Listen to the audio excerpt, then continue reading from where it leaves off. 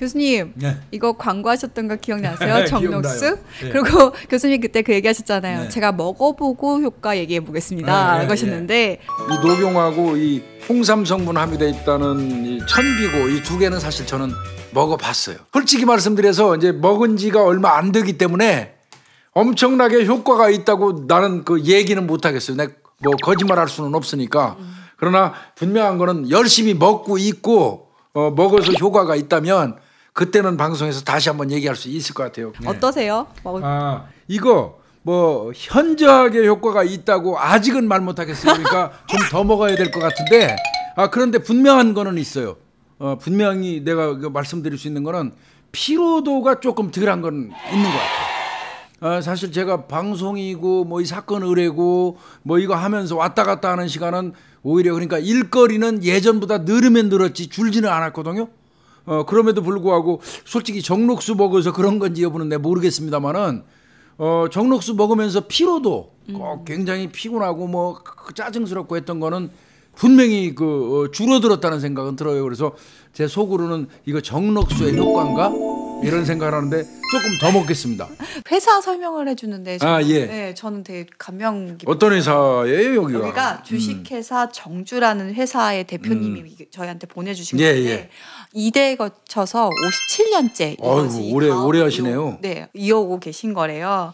그리고 아주 작은 그 소기업이긴 한데 되게 자부심이 되게 많으시다고. 녹용 관련해서 네, 그래서 시- 음. 실제로 뉴질랜드가 노, 녹용이 유명합니다. 다고 해서 가족들을 거기 다 보내가지고 녹용을 아, 이렇게 뉴질랜드 에서 직접 그 녹용을 수입해 와가지고 우리나라에서 가공해서 이런 형태로 만든다는 거잖아요. 네. 근데 사실 이거 어, 먹어보면 진하기는 엄청 진해요. 음, 그래서 공장에서 일하시는 분이 사장님한테 그랬다는 거예요. 아니 도대체 음. 좋긴 좋은데 이렇게 하시면 남는 게 뭐가 있냐고 이러다가 회사 아. 망한다고 우리 음. 다 밥줄 끊긴다고 이렇게 얘기하셨을 정도로요. 근데 사장님께서 음. 이렇게 얘기하셨어요.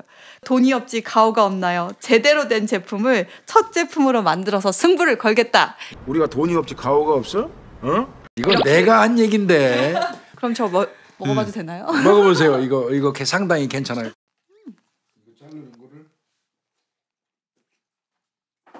아, 이거 오, 교수님 이거 진짜 진하긴 해요. 진하죠. 네. 이 네. 정록수예요. 근데 진짜 진해요. 진짜. 음.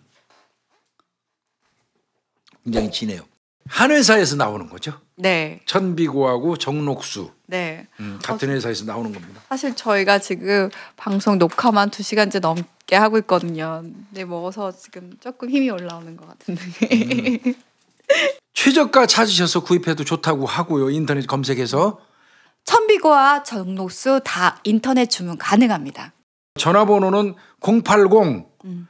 288에 8808 080 288에 8808 어, 이렇게 주문하시면 될 것 같습니다. 교수님, 예. 이제 곧 9월입니다. 추석. 네. 네. 그래서 정록원에서 추석 선물 미리 주문 받는다고 하는데요. 아 맞아요. 어, 이 정록원 제품이 굉장히 인기가 좋다 보니까요 주문이 엄청나게 음. 예, 들어오고 있다고 그래요. 그래서 어, 작년 추석에는 전화나 카카오 1대1 그 주문이 폭주해가지고 어, 또 거기에다가 또 택배사들도 또 그쵸. 어, 많 일감이 많다 보니까 정신 없잖아요. 그리고 일찍 네. 또 마감도 일찍 하고 어, 그러다 보니까 택배 놓치신 분들이 굉장히 많아서 안타까웠다고 하거든요. 예. 음. 그러니까요. 좋은 추석 선물 놓치면 아깝잖아요. 아이, 그럼요. 예. 그러니까 미리미리 주문하시고요. 사건 의뢰 보고 합니다라고 전화 주시면 더 많은 혜택을 주실 수 있다라고 얘기를 하시거든요. 그러니까 전화로 주시는 게 더 좋을 것 같고요. 많이 구입해 주세요. 네. 사건 의뢰입니다. 음, 오늘은 20대 후반의 여자분이 보내주셨다고 하는데요. 읽어드리겠습니다. 안녕하세요. 사건 의뢰를 구독하며 즐겨보고 있는 20대 후반 여자입니다. 구독한 지 한 달 정도밖에 안 되었지만 출근 전 준비할 때나 퇴근 후에 마감할 때 하루 두 번은 무조건 보고 있는데요. 제가 최근에 겪은 일을 경찰에 신고하기엔 아직 애매하고 혼자 감당하기엔 무섭고 두려워서 이렇게 편지를 아, 메일을 보냅니다. 유유 이렇게 적으셨네요.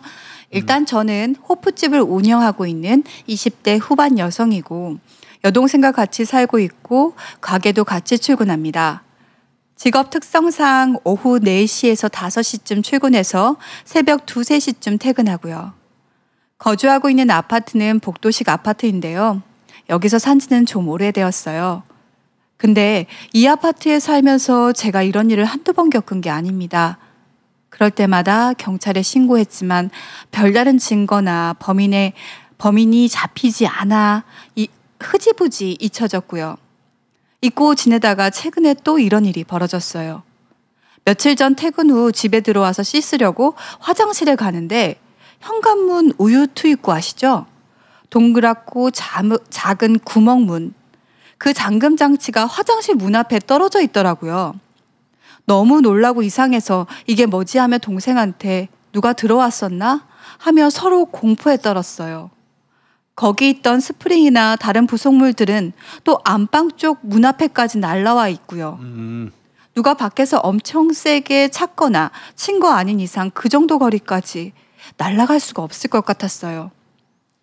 여자 둘이만 사는 걸 아는 건지, 누가 이런 건지 알 방법도 없고, 퇴근하고 하필 새벽 시간대라 집에 들어갈 때마다 너무 무섭고요.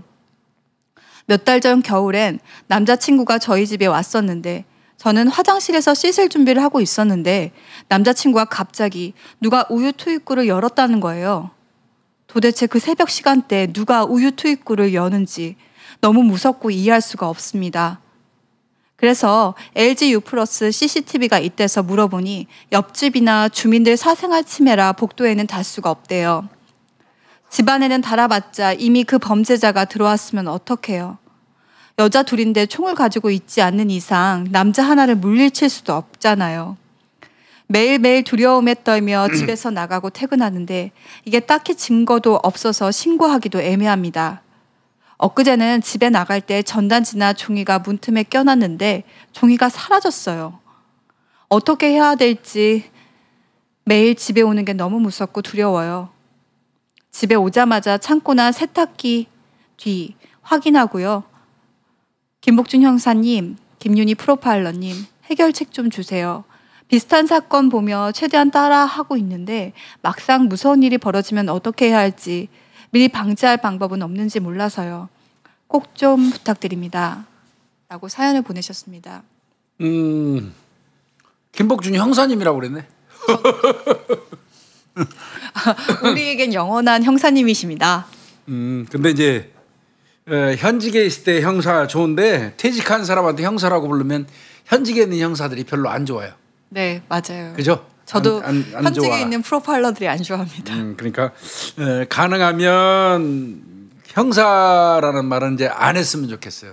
이 방송을 빌어서 지금 말씀드리는데 그냥 나는 그 범죄학연구소에서 연구위원으로 활동하니까 그냥 연구 그냥 위원 이렇게 해도 되고 뭐 아직도 저 경찰 경찰학교라든지 이런 데 가서 강의하니까 그냥 교수라고 불러주든지 그것도 아니면 저 법학 박사입니다. 그냥 박사님으로 불러주세요. 그렇고요. 에, 이거 내가 보니까 저거예요. 우유 투입구 있잖아요. 네. 이 문이 있으면 우유 투입구에 요 딱 우리 마이크 요만한 동그란 걸로 돼가지고 열고 우유 집어넣고 하는 데 있잖아요.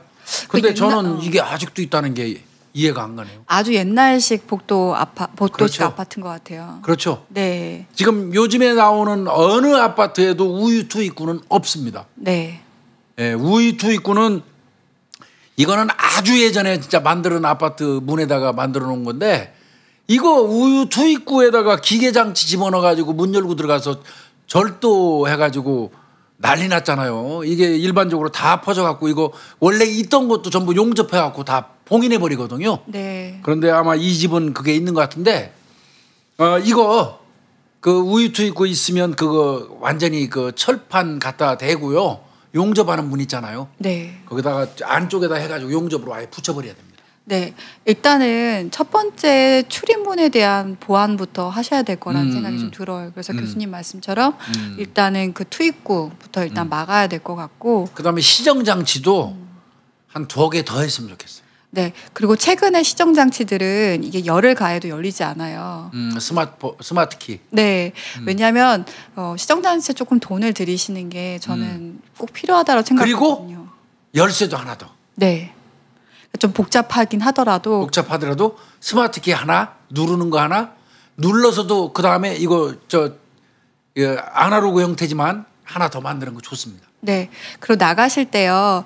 어, 아까 이제 종이 같은 거 전단지도 끼워 넣으셨다고 하시는데 그런 경우는 흔들리는 경우가 되게 많아요. 그렇죠. 네. 그래서 줄 같은 거 있잖아요. 이게 뭐 신발장이나 끈끈해서 줄이 같은 경우 약간 끊어질 수 있는 거라든지 테이프 같은 걸로 해 놓으시는 게 사람의 여부들을 더 확인할 수 있는 부분들이 많을 것 같아요. 왜냐하면 음. 전단지나 종이 같은 경우는 뭐 우리가 택배라든지 아니면 누가 뭐 사람들이 전단지 돌리면서 진짜 이게 건들면 문에 흔들릴 수 있어서 바로 떨어져서 정확한 여부를 확인할 수 없는 게 좀 있기 때문에 이거는 아마 제가 보니까요 맞아요 발로 찬 거예요.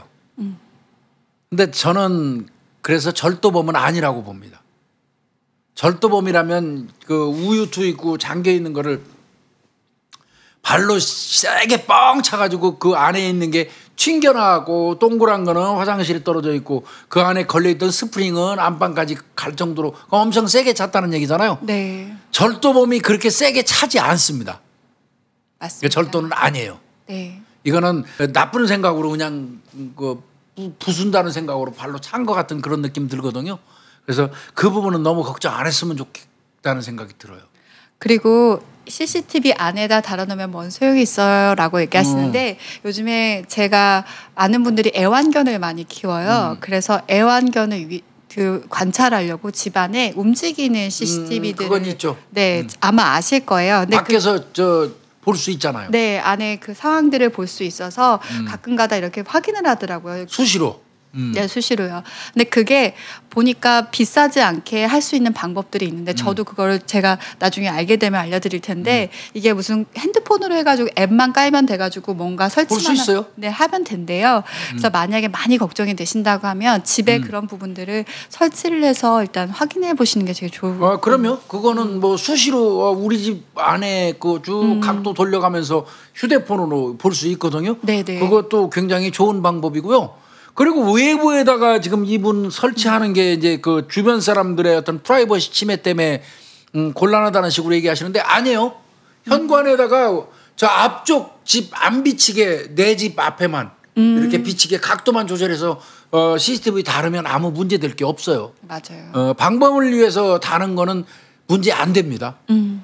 음, 그게 뭐, 그 찍은 게 악용되는 거 아닌 이상은요. 그래서 상관없어요. 그래서 제가 볼 때는 제일 먼저 할 거는 우유 투입구를 저 완전 용접해야 돼요. 네. 근데 그 동그란 부분만 지지지지지 해가지고 용접하면 세게 차면 이거 떨어져요. 그러니까 안에다가 철판을 아예 그 갖다 덧대야 돼요. 음. 지금 다 그렇게 해줬거든요. 예전에 제가 현직에 있을 때 우유 투입구 있는 집 때문에 절도 사건이 많이 나서 어, 우리가 그 저 전문으로 용접하는 사람들을 어, 얘기를 해가지고 집집마다 아예 이만한 네모 반듯한 걸 갖다가 딱 안에서 대고 용접을 해버렸어요. 네. 어, 그래서 아예 봉인을 했거든요. 그러니까 그런 방법을 좀 그돈 얼마 안 들거든요. 네. 어, 그 다음에 아까도 말씀드린 것처럼 스마트 키일 거예요. 음. 그것도 누르는 것도 누르고 그 다음에 아, 좀 귀찮지만 아날로그로 열쇠로 잠그는 네. 시정 장치 하나 더 해주시면 굉장히 좋고 안쪽에서는 또 이렇게 딸까닥 거는 거 있잖아요 쇠고리로 네. 그거 반드시 설치하시고 네. 그래서 시정 장치만 해놓으시면 본인이 심정적으로 마음이 편해요. 맞아요. 음. 저도 집에 딱 들어갔을 때 그냥 이렇게 문 닫고 아예 완전 잠금 바깥에서 철가닥 깎는 그 쇠고리까지. 쇠거리도 있고요. 그냥 아예 안에서 음. 빨간색으로 이렇게 버튼이 옮겨지는 음. 게 있어요. 아예 아- 음.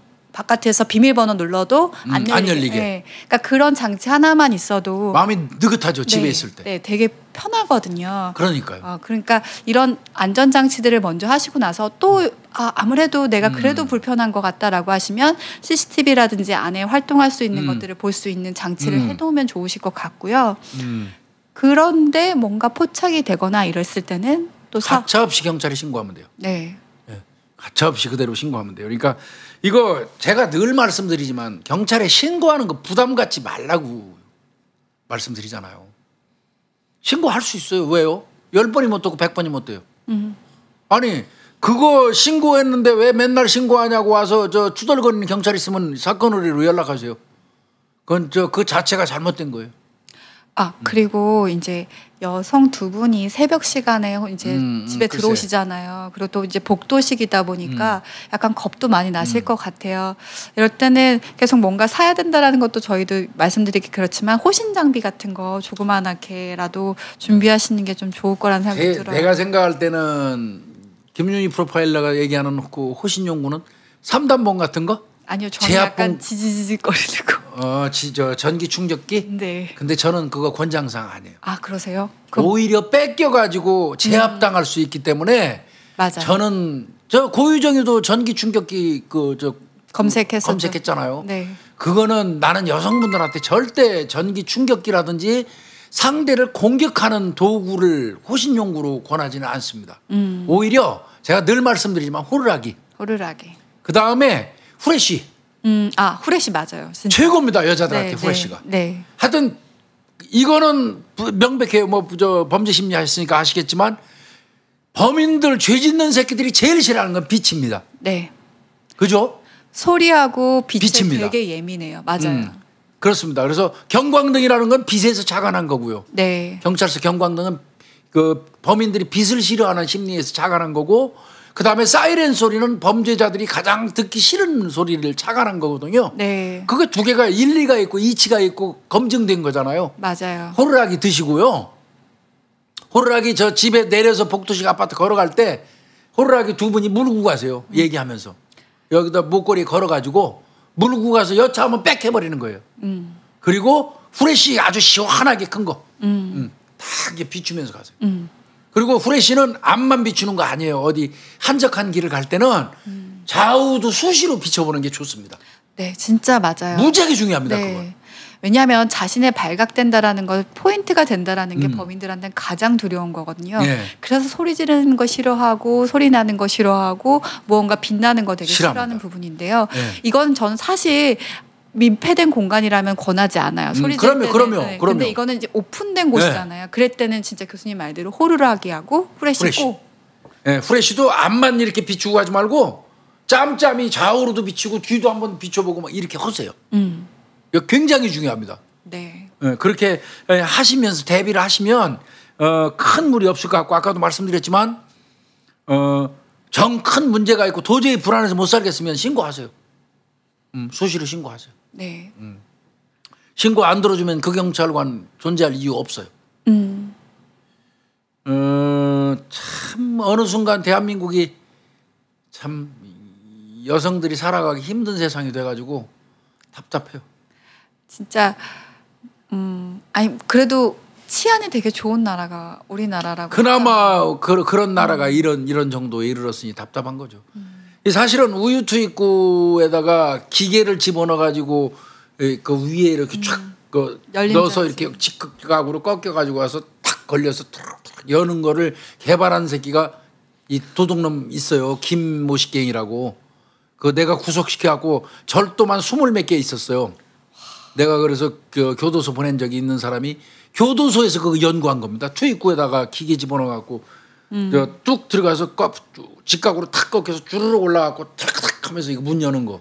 그 죽었어요 그 사람.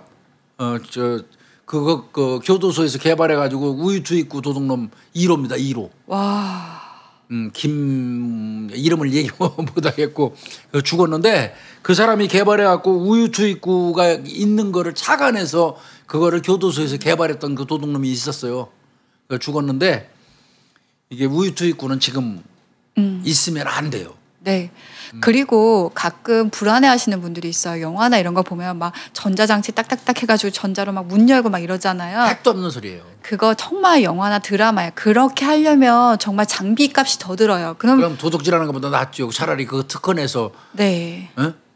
그래서 실제로 그런 일이 거의 발생하지 않아요. 그 음. 영화나 드라마 그리고 그렇게 기술이 좋은 보- 절도범들이라든지 없어요. 범죄자가 별로 없어요.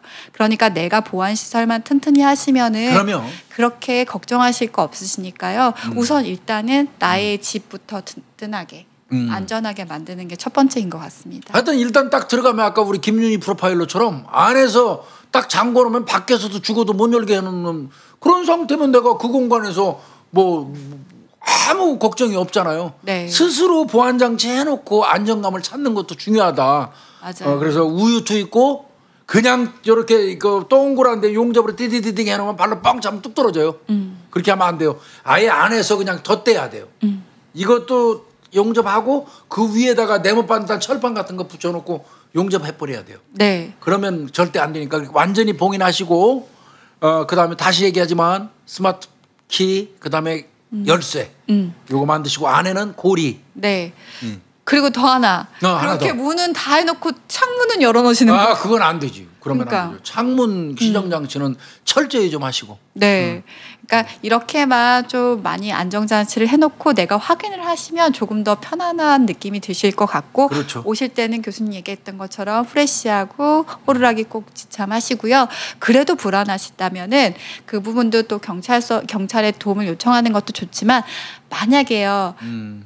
어떤 근거가 없는데 계속 불안해 하신다면 이거는 본인이 좀 더 안정을 찾는 방법도 생각해 볼 음, 필요가 맞아요. 있어요. 네. 지나치게 기우하시면 음. 안 되니까 그리고 뭐 할 수 있으면 아버지나 삼촌 구두도 하나 갖다가 음. 현관에다가 놓고요. 음. 어 남성 자, 자켓 같은 것도 그 그 문 열고 들어가면 바로 그냥 옷걸이에 하나 걸 걸쳐 놓는 것도 굉장히 중요합니다.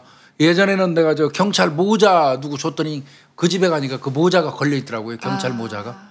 아, 저 다시 꺼내놔야 되겠네요. 어 그러니까 그, 그런 것도 효율적일 수 있습니다. 그래서 음 너무 걱정 안 하셔도 될 것 같아요. 제가 판단할 때는 절도 목적으로 발로 찬 건 아니에요. 이거. 음. 예. 맞아요. 절대 절도할 놈이 그렇게 발로 뻥 차가지고 그 그렇게 안 하거든요. 네, 진짜 은밀하게 들어올 사람이면 그렇게까지는 하지 않거든요. 그러니까 그런 부분도 유의하시고 또 저희 지금 얘기 나눴던 부분도 참고하셨으면 좋겠습니다. 그러면 예 네. 너무 걱정 안 하셔도 돼요. 후레 후레쉬하고 호루라기 꼭 사십시오. 네. 어, 다른 사연이라든지 궁금하신 거 있으시면 항상 저희 네. 사건 의뢰로 보내주세요.